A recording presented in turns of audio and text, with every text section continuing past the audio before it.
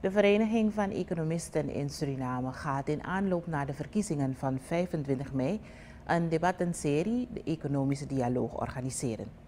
Dit doet zij samen met de Vereniging Surinaams Bedrijfsleven en de ICT-associatie. Het doel van deze debatten is om de kiezers te informeren over de diverse standpunten van de politieke partijen. De organisatie hoopt de kiezers zo tools aan te reiken om een goed onderbouwde keuze te maken. Aan de debatten participeren 16 politieke partijen.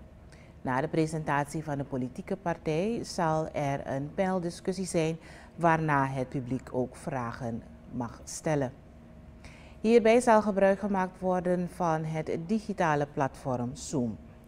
De thema's die besproken zullen worden hebben betrekking op het productie, diversificatie en werkgelegenheidsbeleid, het fiscaal beleid, het monetair beleid, het sociaal beleid en het overheidsapparaat. Het eerste debat is op donderdag 30 april.